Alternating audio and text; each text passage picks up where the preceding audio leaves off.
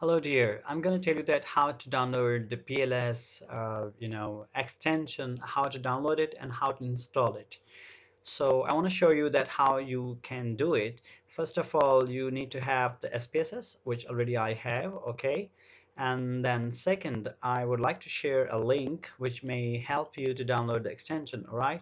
Here is a link that I sent to my friend. I'm copying it and you will go and post somewhere you know in URL right? Here you go and you're gonna go and download it. So since I already have downloaded this extension but I'm gonna show you that how it happens uh, I will let you know. Uh, but I want to show you that I already have downloaded and uh, let's see you know like I downloaded this thing this software or extension uh, in new papers. It was already there and p yeah this was the extension okay?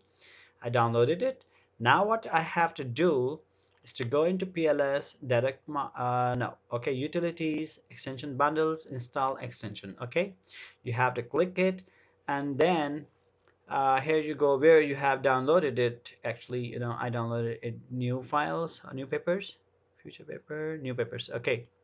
You go select it and then open it and now it will ask you the question following plugs are ins are required for the extension bundle but are not actually installed you continue it and you do it okay? Now it says extension bundle successfully installed. Okay done. Thank you very much.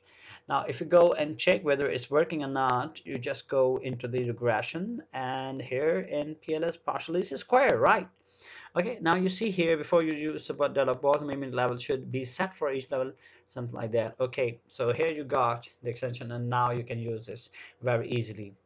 I hope that you understood this little technique. Uh, thank you for being with me. Bye bye